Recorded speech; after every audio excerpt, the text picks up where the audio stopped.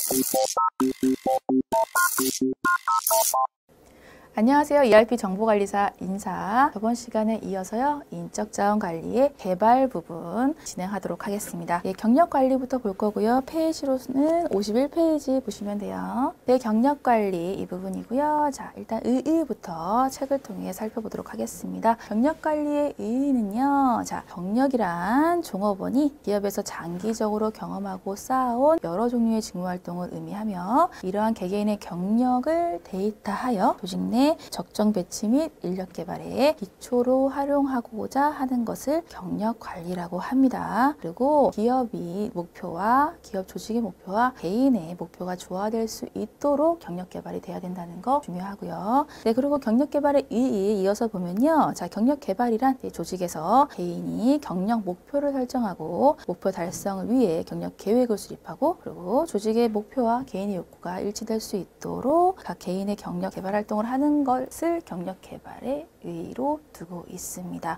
그래서 조직과 개인의 협력이 중요하게 되겠죠. 네, 여기에서 경력 관리의 기본 체계를 좀 말씀드리면서 용어를 좀 하나 정리했으면 해요. 경력 목표와 경력 계획 경력 개발 이렇게 세 가지 좀 기억을 해 두시기 바랄게요. 그래서 단일 문제로 문구 주어주고 어떤 거에 대해 설명한 건가 라고 얘기하면 여러분들이 찾으시면 됩니다. 경력 목표 경력, 계획, 경력, 계획했으니까 개발하는 거 이렇게 세 가지인데요. 자 여기서 경력 목표는요 개개인이 경력상 도달하고 싶은 미래의 직이에요. 네, 도달하고 싶은 미래의 직위.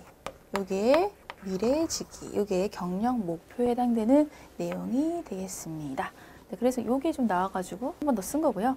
경력 목표는 도달하고 싶은 미래의 직이고요.